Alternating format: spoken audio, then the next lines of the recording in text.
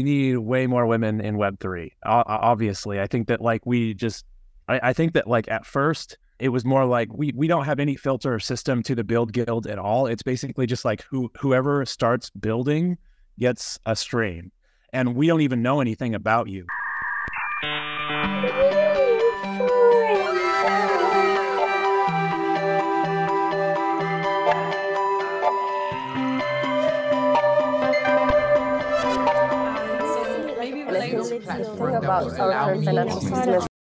Hello, everybody, and welcome back to New Forum, the Web3 podcast bringing together developers, creators, and investors in the Web3 and crypto space. And on today's episode, I have a special guest for you guys because Austin Griffith is joining me. He's been on many episodes of Bankless, and we're going to talk today about what he's building with Speedrun Ethereum and how you can get plugged in to the Ethereum community? Yeah, for sure. So uh, I'm I'm definitely just like sponsored by the EF. I definitely don't res- represent the EF. The EF is is a bigger, higher level, smarter smarter group.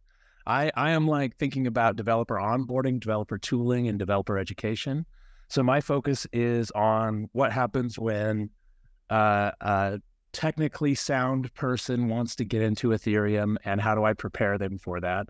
And after going through it myself and after mentoring a lot of people that went through it, we, we were able to really kind of isolate, you know, you need you need this kind of set of of information. And so we created a curriculum around a tool and then an incentivization layer around all of that. But it all starts at Speedrun Ethereum, and that's where you can go to kind of uh, get your bearings and learn kind of the you kind of get the Ethereum mind dump basically. exciting. And could you walk me through like the onboarding process and also, yeah, what are the most recent and exciting things that are built right now?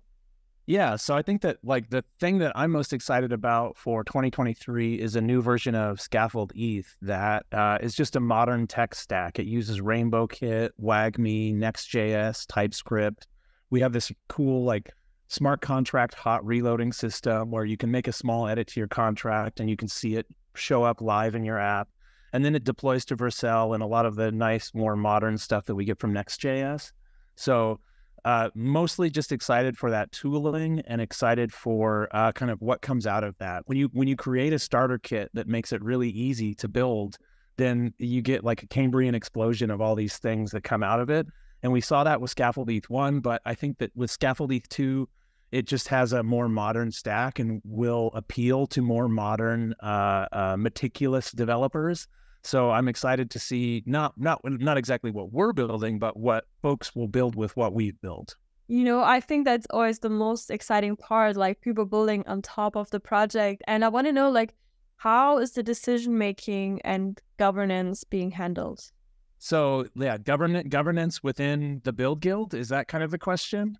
Yeah, yeah. So the BuidlGuidl is technically a DAO LLC. We do have a voting structure where we vote and then there's you know about a hundred smart contracts below that that stream to different developers.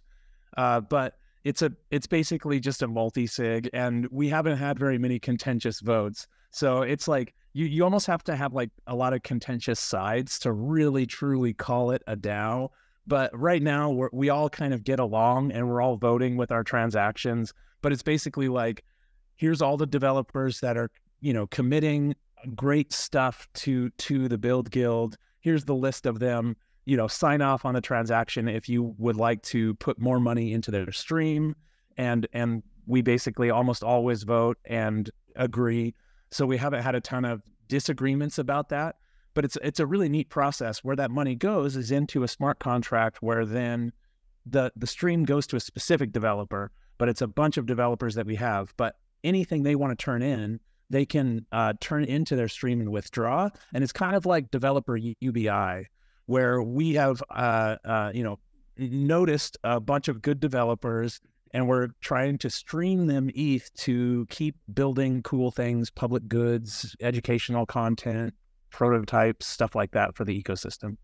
Amazing. So you're kind of like a well played team. And I'm wondering, how is it for people outside of like Europe and America and women like onboarding themselves into the community. I would love to know a bit more about that. Uh, it's definitely not a good ratio. We need way more women in Web three. obviously, I think that like we just, I, I think that like at first it was more like we we don't have any filter system to the BuidlGuidl at all. It's basically just like who whoever starts building gets a stream. And we don't even know anything about you. We don't collect emails. We don't collect any information. You you use your Web3 wallet to sign in and participate in Speedrun Ethereum. And then eventually you use that same wallet to withdraw funds.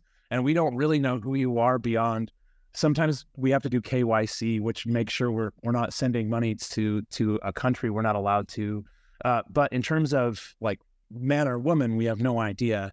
And I think that actually at first I was like, yeah, that'll be good. That that will bring in, but it's not. You you have to make like a, a better effort to actually find more women in Web three, and we need to do a better job all the way from from the bottom of the stack to the top to the, the, the stack in terms of what's attractive sort of like when when i'm talking about bringing in a developer if i use a marketing technique that's going to bring in a bunch of nerds it's going to be like 90% men most of the time right so i have to i have to think about how how i make my own dao more welcoming to women and how we make the whole ecosystem more welcoming to women it, it's tricky because I, I don't know, you know, I, I don't know exactly how to do this, but I, I can I can see that we're not doing a good enough job, but uh, and I can try a bunch of things, but I haven't found the answer to this yet. But I know that we need to do a much better job. Yeah, I think it starts way earlier with like educating women and, you know, also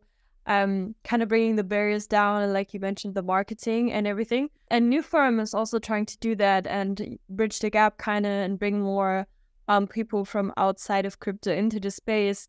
I'm wondering, you talked a bit about uh, data and identity, and I'm wondering how is your view personally on these topics, um, identity on and off chain, and uh, yeah, I would love to know more about that. That's, I mean, that's definitely something in the space. We see that like we have lots of anon identities, and we have a you know a handful of people that are doxxed, and like I'm very obviously doxxed. Like you can probably find me pretty easily if you wanted.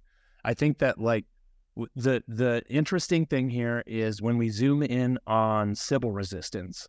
If you look at any good platform that's built on uh, something like Ethereum that is very agnostic to identity, uh, you, you end up building these systems where if you can Sybil attack the system, you can usually you know break the protocol.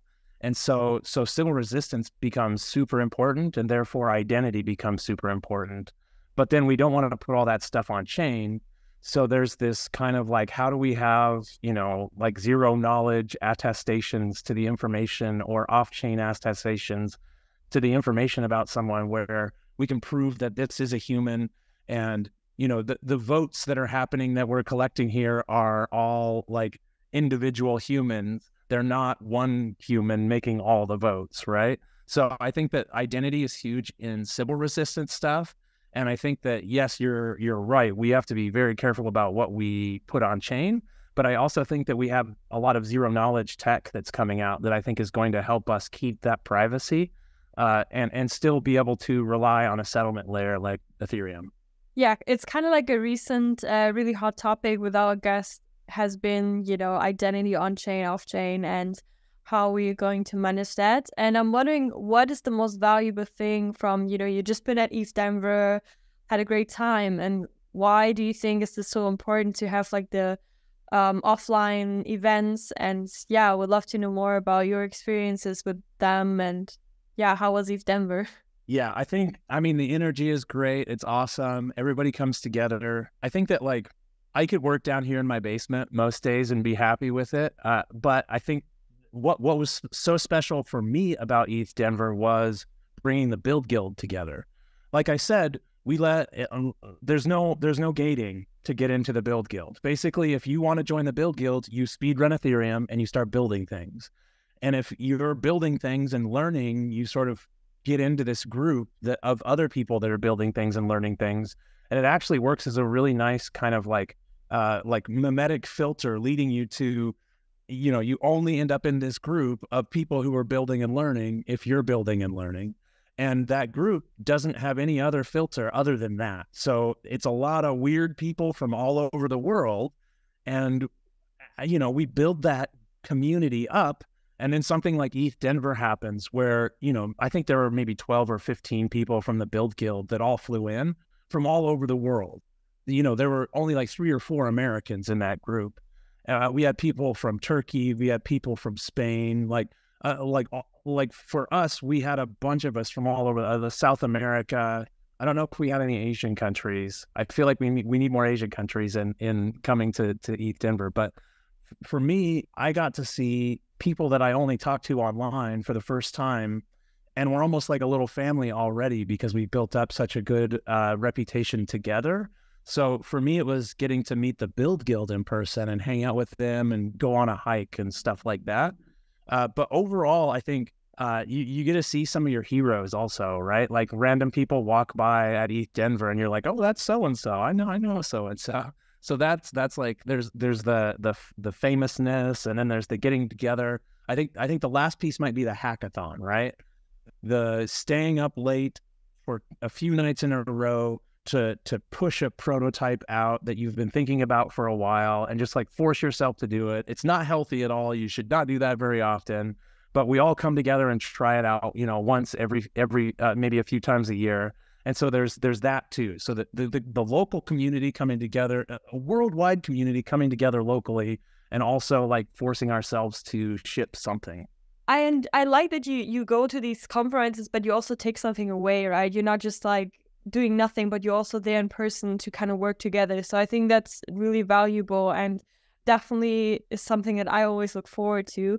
Even though America is really far, we can't always travel there all the time. About uh, East Berlin. That's East a good one too. That's the yeah. Um. So yeah. Um. Just awesome to to finish up the episode. I want to know like what are some of the things that you are excited about and you're working on, and also maybe a little bit like uh, within the build guilds that is upcoming or that you're really excited about. I think okay. So from the very high level, like on Ethereum, we have like L2s and it's getting more and more accessible and it's faster and cheaper to make transactions. We're seeing things like account abstraction and it's getting easier and easier to custody your own funds without accidentally lo- losing a private key and losing everything, right? Uh, so, so in with those combinations, and then uh, we see uh, then kind of a couple layers down now, we see tooling is really blooming. Uh, we we have guys like the WAGMI the WAGMI crew who are creating new tools and and Rainbow Kit and Wallet Connect Kit and and an amount of wallets I can't even count. Right there, there's so many cool tools coming out and and cool wallets and neat experiences being built on top of this. And then for the BuidlGuidl in particular, uh, we're we're excited about some small tools. We're we're working on a multi-sig, we're working on a burner wallet, we're working on a mobile wallet. We have all of those apps and they're almost like just counterfactual to the space. Hopefully someone in the space will create a better version, but we have some forkable versions in case like we need to help the ecosystem out really. Uh, but Scaffold 2, I think, is is our main uh, next piece where we hope that we are going to create like the the the state of the art tech stack for like I said earlier, like a Cambrian explosion of just different apps to come out of this. We we built it so you can sit down and quickly, you know, very rapidly prototype an app while you're working on your smart contract. So after a 30 minute session of a little bit of Solidity, a little bit, bit of React, you almost have an app ready to go. At ETH Denver, I did a live demo, and in 30 minutes, down in a basement with very little Wi Fi, I was able to build out an app that had uh, some delegate on it. And like it was just a smart contract that did a couple things. And then I added a delegate to it. And then I built the UI around selecting your delegate. And then I deployed that to Goerli and then deployed that to Vercel. And anyone in the crowd could actually get in and go interface with that app I built. And I think that, and also that's like a really, really clean tech stack. So I think that tool we're going to really push hard and hopefully see lots of other developers using that to build their their next decentralized app.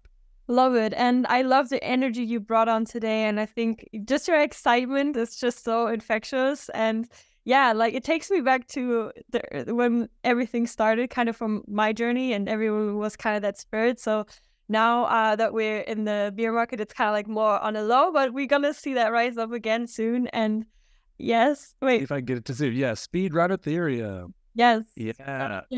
Where could you guide us quickly? Where do we have to um, go if some of our developers uh, want to check out and just uh, engage with the community? Would love to know. It's basically speedrunethereum.com. That's where if, if you are a decent developer, you should be able to go to speedrunethereum.com and get the download of Ethereum over just a couple of days of just sitting around and tinkering and learning.